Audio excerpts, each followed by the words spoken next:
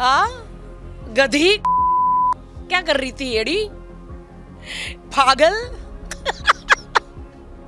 राखी Sawant potty mouth Rakhi Sawant अश्लील घटिया जलील घिनौनी बदजात बद दिमाग राखी सावंत। तेरे पास सबूत है ना? पुलिस स्टेशन जाना कंप्लेंट लिखा प्रूफ दिखा। तेरे को डंडे मार के भगा दिए क्या पुलिस ने? प्रूफ नहीं है। रोज साड़ी पहन के पचास किलो का मेकअप लगा के, बाल में वीग लगा के जाती है। पुलिस ने भी बोला, ए, बाबा, निकल यहाँ से। ए, तेरे पास कोई प्रूफ नहीं, कुछ नहीं मीडिया लेके पहुँच जाती है इधर। और पुलिस बाहर डंडे मार के भगा देती है, बाहर जाके मीडिया के सामने रोती है।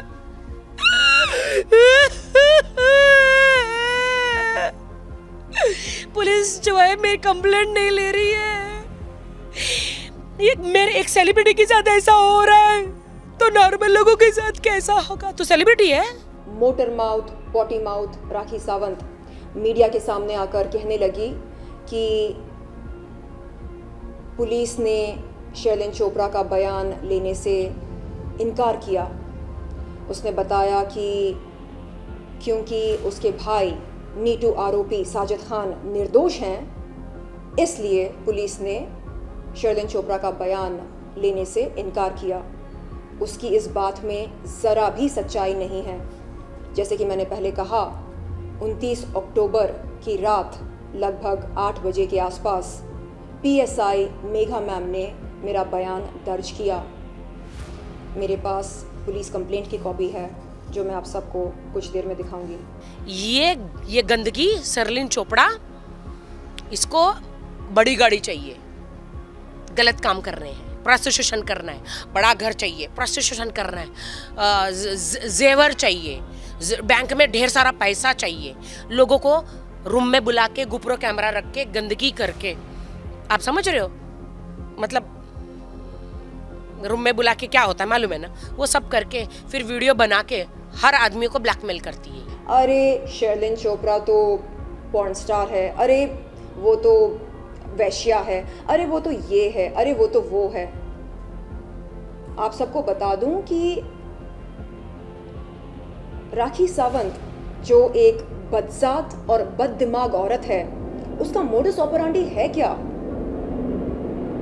लग्जरी होटल्स में जाकर प्राइवेट इवेंट्स करना और करवाना, ये है उसका मोडस ऑपरांडी और क्या करती है वो ज़िंदगी में? आए दिन सब्सक्रिप्शन पर बॉयफ्रेंड और हस्बैंड बनाती है, उन्हें लूट लूट के कंगाल बनाकर छोड़ती है। ये है उसके जीने का तरीका।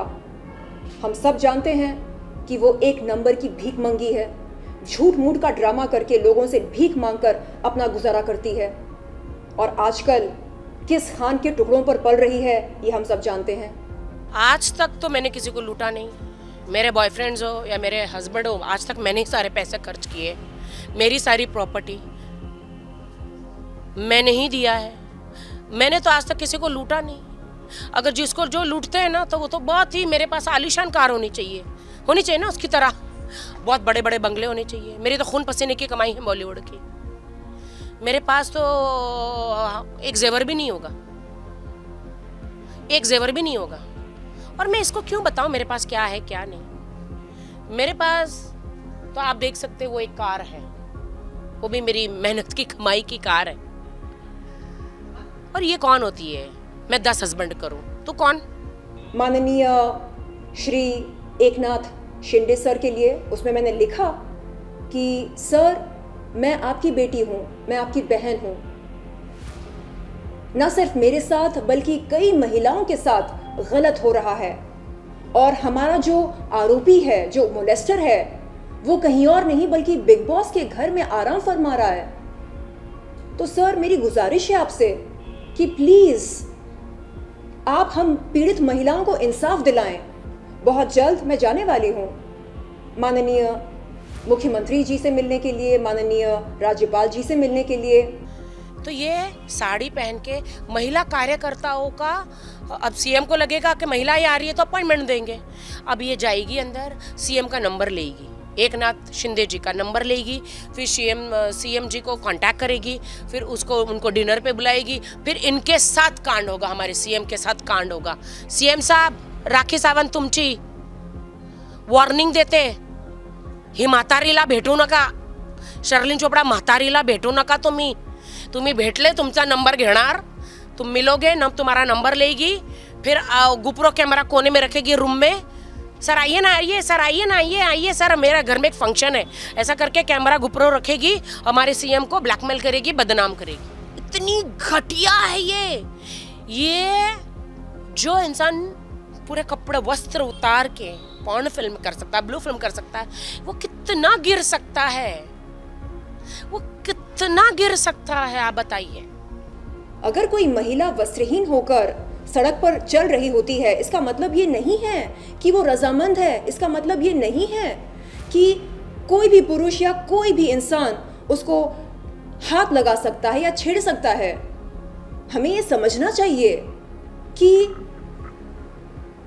nudity does not tent amount to consent जिसम की नुमाइश करना रजामंद होना नहीं होता है। लेकिन क्योंकि ये लोग अनपढ़ हैं, गवार हैं, जाहिल हैं, इसलिए ये लोग इस तरह की टिप्पणियाँ हर आए दिन करते रहते हैं। तो मैंने उसके सामने ये सवाल रखा कि वो अपने फैंस को, दर्शकों को मीडिया को क्यों नहीं बताना चाह रही है कि उन वीडियोस के निर्देशक और निर्माता कौन हैं? वो बताए, वो आधी अधूरी जानकारी क्यों दे रही है? वो पूरी जानकारी क्यों नहीं देना चाह रही है?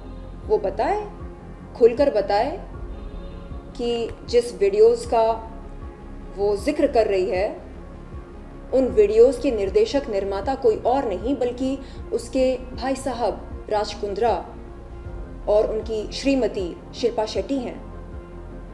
लेकिन ऐसा बोलना उसके लिए मेरे ख्याल से अनुचित होगा, क्योंकि राज कुंद्रा को वो भाई मानती है। कल मैंने पौन वीडियो दिखा दिया तो उसने क्या बोला पता है? कहती, ये तो उसके भाई ने ही कराया है। तेरे कनपट्टी पे बंदूक रख के कराया था। तेरे पे कनपट्टी के बंदूक रख के तेरे को बोला था, कपड़े निकाल, चॉकलेट डाल बॉडी पे, आ आ, कर। हनी डाल बॉडी पे, आ आ, कर। हाँ?